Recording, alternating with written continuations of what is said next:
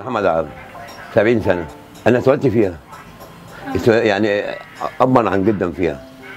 أقدم ناس بتوع طواحين إحنا. أول ناس في مصر.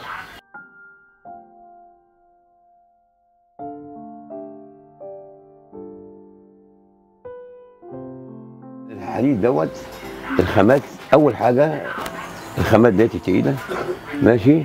وبعد كده ال- الأول ما كانش فيه الحاجات دي خالص. الأول كانت يدوي. كانت إيه؟ الطواحين اليدوي وطواحين كده هو باليد وكل حاجة. دلوقتي حصل تطور كبير. بن بنجيب مواتير ونشغل كل حاجة بمواتير وكل حاجة. يعني راحة لل- لل- لل- للصنايع بتاع البول.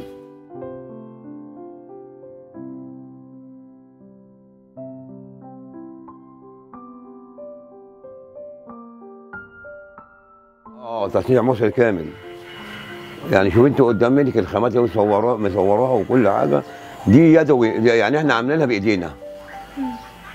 خراطه وحدادة والكلام ده. من السبتية بنجيب الخامات دي كلها من السبتية. حسب ال- ال- ال- الزبون ما عايز المكنة. عايز مكنة 10 كيلو عايز 25 كيلو عايز 30 كيلو عايز شوال. شوال يعني ب 60 كيلو. ماشي؟ اللي هو في ديت 60 كيلو شوال. دي دي 30 كيلو حسب الزبون عايز يعني كده آه، لو بتنقرض الشغلانه ما كناش اشتغلنا على المكان كده. في ناس طلعوا في الشغلانة جديد بقى لا، آه، يعني كل واحد حسب خبرته.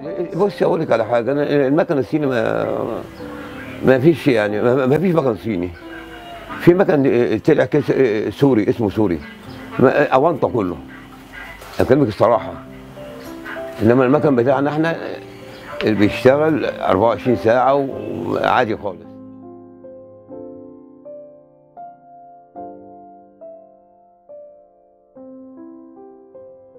إحنا كفاية علينا مصر.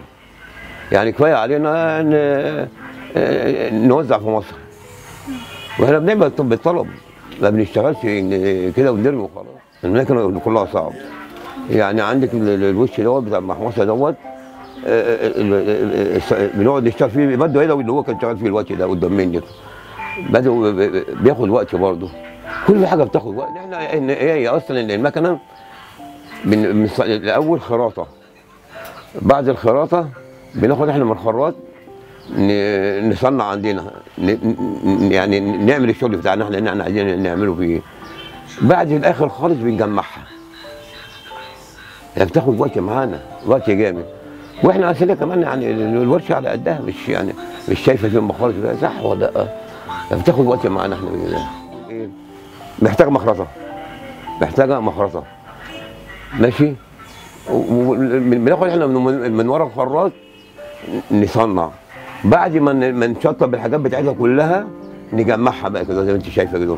نوديها بتاع النيكل نوديها للبويه فرن على حسب ما سنة